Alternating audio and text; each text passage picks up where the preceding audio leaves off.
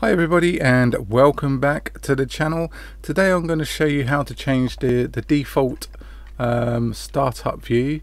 Um, so instead of having to, you know, select the cube um, and delete it to put in your new thing, what you want to do, delete the cube if you don't want it there anymore.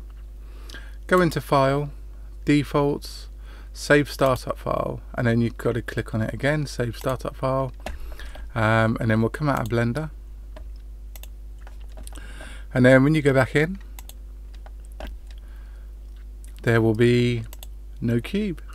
Again if you want to if say you're always using a UV sphere just go add your UV sphere go to file defaults save startup file save startup file.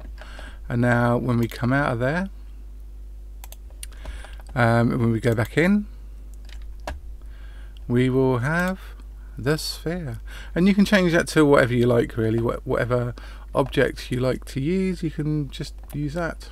Say file defaults and save startup file. Um, if you want I mean you can just load factory default settings again. Um, and there, there we go.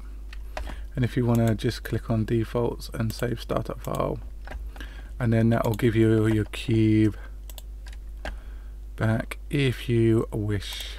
There we go. Anyway I hope I helped you out and I hope you found this video easy to follow.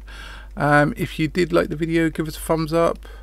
And don't forget to hit that subscribe button and the notification bell. Um, thanks for watching and we'll see you on the next video. Ta-da for now